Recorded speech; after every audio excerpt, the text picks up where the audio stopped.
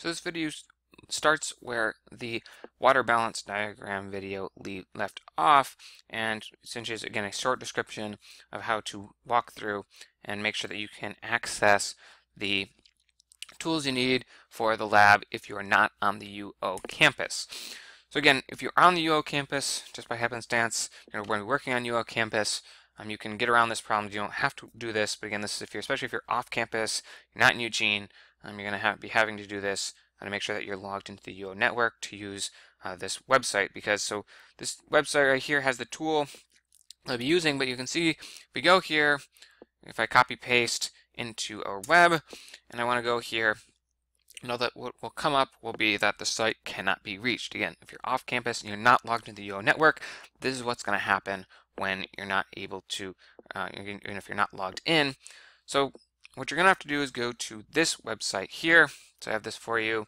It's the it.uoregon.edu, VPN, AnyConnect. We'll bring you here. Um, and specifically, you want to be, go through and uh, connect and download and install this software. So this AnyConnect software, when you click on this link here, this AnyConnect, you'll be directed to this page and you'll have to log in so that you download through the UONet uh, this VPN uh, authentic authentication. Um, so essentially, you know, I can enter my information here um, just to show us what would be what would happen. Log in, do this, hit enter to log us in. Essentially, it's going to kick you through and, and, redirect you to this uh, platform here. Um, for me, um, it doesn't do an automatic or you know, installation. You actually have to do a manual installation. So again, uh, you, essentially you would click on the link here, on this AnyConnect VPN. When you click on that, it'll uh, download what you need. And then you actually have to run that through and download that and install it for your computer. Um, it looks like here, you know, it'll take a little while to actually download it.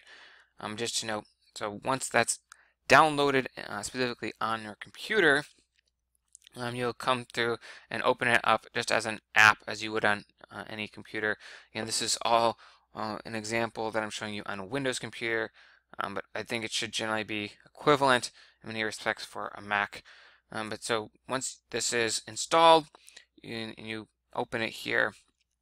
This is, see this example here, and then you'll have to enter uh, within the VPN um, when it says ready to connect this UO uh, vpn.uoregon.edu.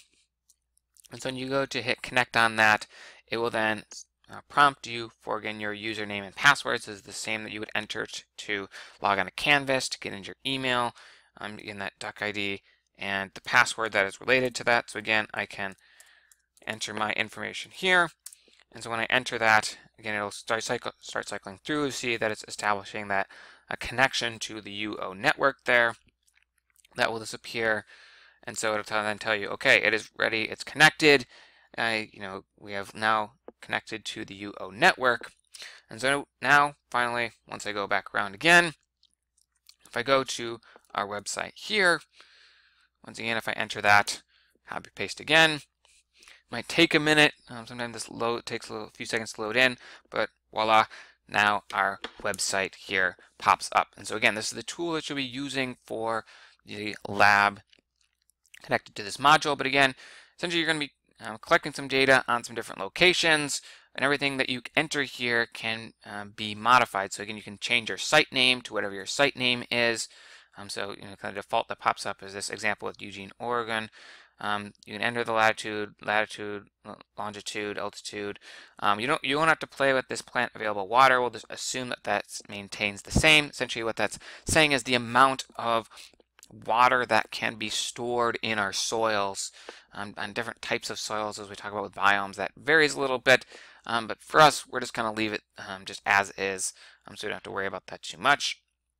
Um, and then uh, all the temperatures that you have by month and all the precipitation values by month uh, in January through December and then you can uh, click on that to update any graphics and so that will all play out then um, be updated down here. So again we have our climate graphs on the left. Again, all that will vary. And then on our right here, our water balance diagrams as that plays out. So again, you can come through, play with any of these numbers. You know, if we were to start just um, changing our numbers here, um, we can, you know, all of that we can see um, just you know, add some really strange numbers so that um, we can see how that um, ends up. So if I go down and hit our update graphics here, um, note we get you know this really weird spike here that I've just created because our temperature goes way up there. But you know, anything that you add in um, and, and, change all of our numbers when you hit update graphics, they'll then um, be shown on the graphics here. And so you're going to be doing that, getting getting some data for some different locations, updating all that information here, um, looking at the climographs and explaining them and kind of relating them also to the biomes and vegetation types that we'll be talking about in this module as well.